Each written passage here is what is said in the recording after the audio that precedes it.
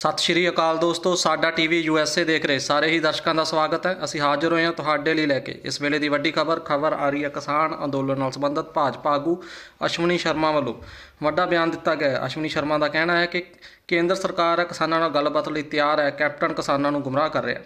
ਪੰਜਾਬ ਭਾ- ਭਾਜਪਾ ਦੇ ਪ੍ਰਧਾਨ ਅਸ਼ਵਨੀ ਸ਼ਰਮਾ ਨੇ ਕਿਹਾ ਕਿ ਅਮਰਿੰਦਰ ਸਿੰਘ ਤੇ ਉਹਨਾਂ ਦੀ ਸਰਕਾਰਾਂ ਵੱਲੋਂ ਕਿਸਾਨਾਂ ਦੇ ਮਸਲੇ ਨੂੰ ਹੱਲ ਕਰਨ ਵਿੱਚ ਮਦਦ ਕਰਨ ਦੀ ਥਾਂ ਪੰਜਾਬ ਵਿੱਚ ਆਪਣੀ ਸੱਤਾ ਕਾਇਮ ਰੱਖਣ ਲਈ ਕਿਸਾਨਾਂ ਨੂੰ ਭੜਕਾਉਣ ਲਈ ਕਦਮ ਚੁੱਕੇ ਗਏ ਹਨ ਅਤੇ ਲਗਾਤਾਰ ਚੁੱਕੇ ਜਾ ਰਹੇ ਹਨ।